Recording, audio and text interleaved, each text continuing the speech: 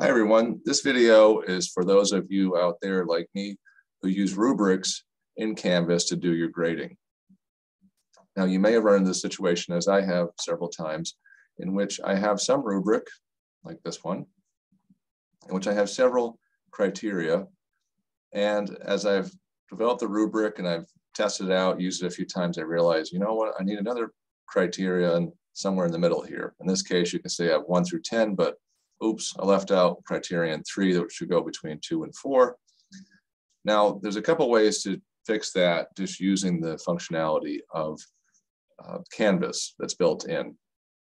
And one, uh, the, the quickest way is just to add the criterion at the bottom. You can do that simply by just copying one of the other ones, editing it, it to be three instead of 10. And then again, the quickest way is once you've done that is to then copy uh, four, five, six, and down to 10 after three, and then delete the original ones, which seems a little bit excessive and inefficient. The other way is just to throw it out completely and start over, which is even less efficient.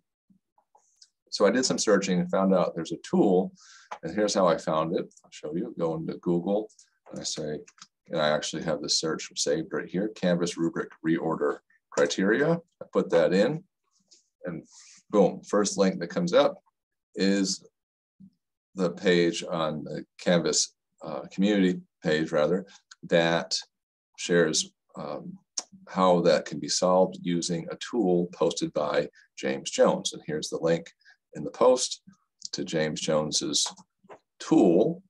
And so I want to show you with this video how to use his tool and what to expect from it because I installed it a couple times and at first I thought it was not working even though it was and thought other people might run into the same thing. So let me show you what you do. It is this quick install, it's just these two steps and even one of them is a little bit surprising. So the first thing is to install the Tampermonkey extension, which will work on Chrome, which I'm using now. I've also used it on Firefox and it works there as well. It may work on other browsers like Safari uh, etc. But I'm not sure about that. You'd have to check that out on your own if you use a different browser. Anyhow, again, this is Chrome. So I click that link to install Tampermonkey. takes me here to this page where I can download Tampermonkey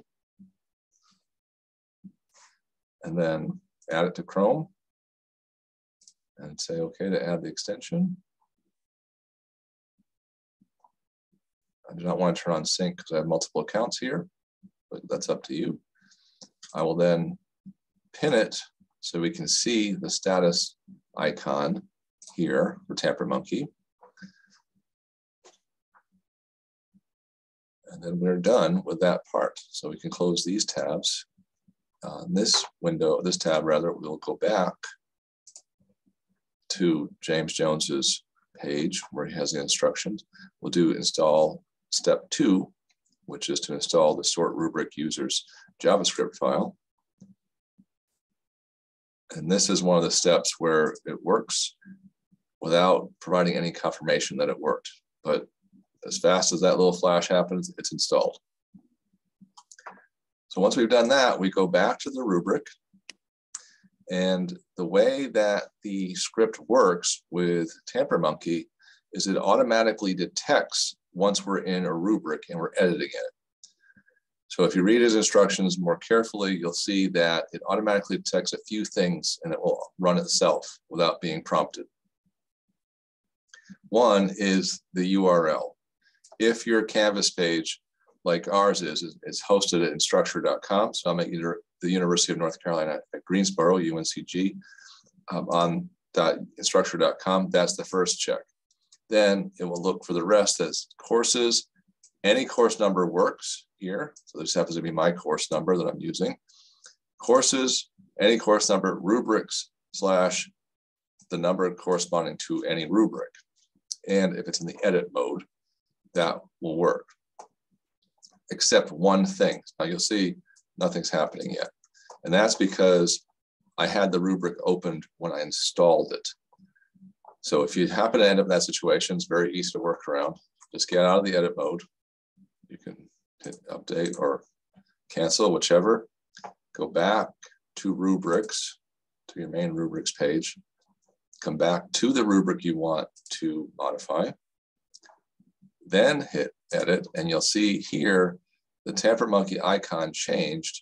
It was previously gray, now it's black and white, and it has a number one saying that the script has run once. It is working now, even though it might not seem like it. You can't click these, they don't highlight, the criteria don't highlight when you click on them. Nevertheless, if you want to move this one, just click it and drag it and it will move up. Oops. I can put it right there where I want it. I can move other ones around too, if I want to. And that is about it. So I hope you find this video helpful. I will post the link to James Jones's page directly into my description so you don't have to search for it. And I'm happy to answer any other questions you post in, your, in the comments. Thank you for watching my video.